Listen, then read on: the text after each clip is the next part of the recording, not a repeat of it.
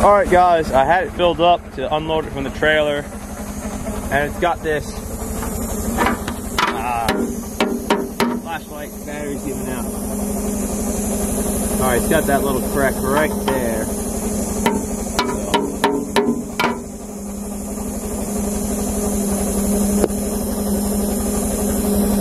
Right there's a crack.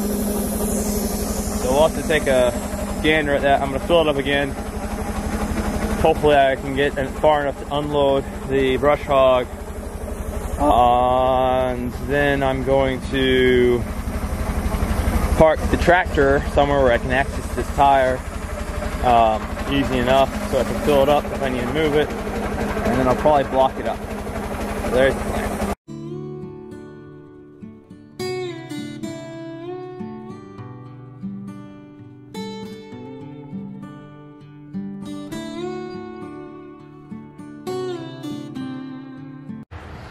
All right, so we pulled off the tire and we're draining it. And uh, these little lug nuts were beasts. But that did a wonderful job. So, yep,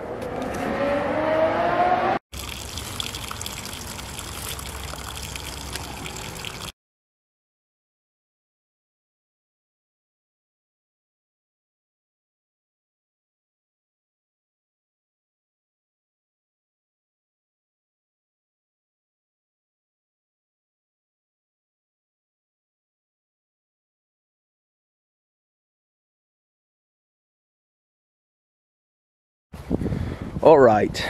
Uh, all right. So i don't know how much i actually have on video um, of me trying to put an inner tube into the tractor tire.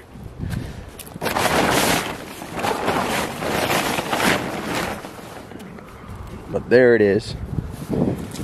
So um, yeah, what happened was I got started. It was way later at night than I thought.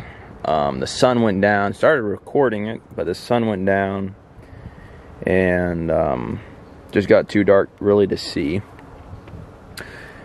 Um, it was me and uh, another two sets of hands working on this, and it was really hard to break the bead off of this. But uh, you can see there's the inner tube. That was not tight.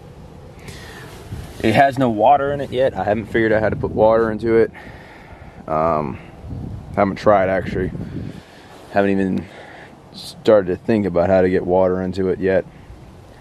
But that is up and so the tractor is good to go. All right, so here's the old inner tube. There was one in there. And uh, I don't know where the hole's at. It's in here somewhere. Um, yeah. Um, the inside of the rim looked pretty good because it looks like it's had an inner tube in it for quite a while. Um,